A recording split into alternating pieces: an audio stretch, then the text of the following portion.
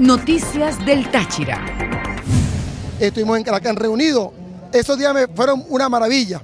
Alguien dijo que yo había dicho que no me reelegía para que me atendieran todos los ministros. Alguien dijo eso, ¿no?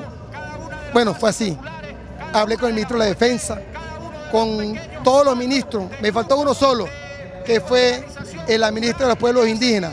Pero hablé con todos los ministros para hacerle petitorios al Táchira, que vamos a comenzar ya. Ya tenemos listo para inaugurar muchas obras y queremos hacer un plan que muchos me van a criticar, pero otros me van a aplaudir, porque es, el plan de la paz, de la reivindicación y donde todos cabemos.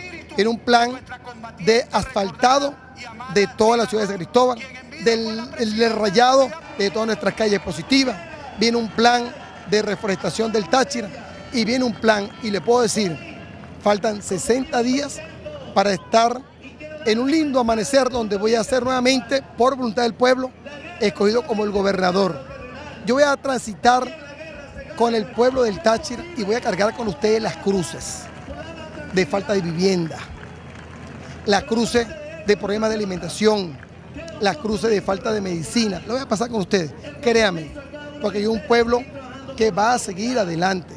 Y yo, como católico que soy, amante de la doctrina de Cristo, de Jesús de Nazaret, de la Virgen María. Le voy a pedir que le vemos oraciones al cielo para reivindicar al pueblo del Táchira, a la familia y a la paz colectiva.